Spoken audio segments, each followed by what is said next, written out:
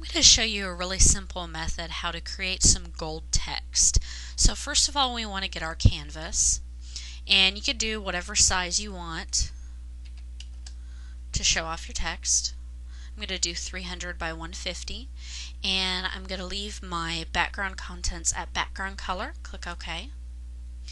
And I'm going to add my background color first of all, which isn't necessary, but it just makes my gold text stand out a little bit more. Go, to, go ahead and use my paint bucket tool.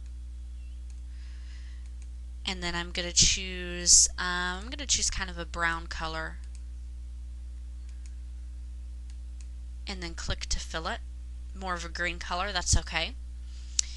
And then I'm going to use my text tool and I'm going to actually put the text. Now up here you're going to want to choose your font. You can choose whatever font you want to use. If you um, pick a font with thicker letters then the gold um, effect is going to show up a little bit more. But you can really go and choose whatever text you want. And then of course whatever size you want to use. And you can go back and change this.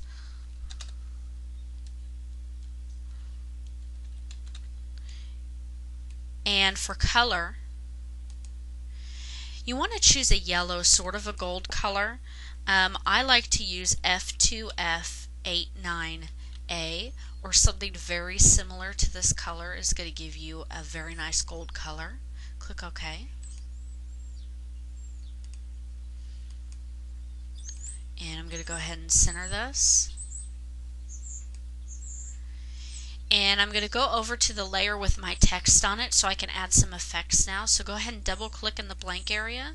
And this will bring up your layer style text box. The first thing I'm going to do is add a bevel and an emboss. So I'm going to go ahead and stick with an inner bevel, a smooth technique, depth 500, size 5, soften 0. For angle, I'm going to use 120.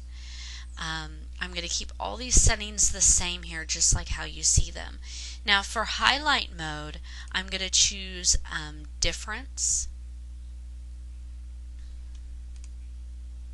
And make sure that your color is set to white. Your opacity, leave it about 75%. Now for the shadow mode, I'm going to choose dark. And I'm going to leave that at a black color and also 75%. Okay, so that's my um, shading for my bevel and emboss. I'm going to also add a drop shadow up here. And for my drop shadow, I'm going to choose a color burn blend mode. I'm going to keep the opacity at 75%, keep the black color for my color burn, 120%. I'm going to go ahead and keep my distance at 5. All the other settings keep like this. Click the OK button and you get this very good um, cool gold effect that was developed pretty quickly.